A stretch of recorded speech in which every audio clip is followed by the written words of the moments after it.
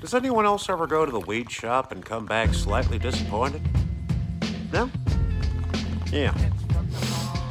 Well, ain't that a bitch? A little crooked, motherfucker. Let's straighten up.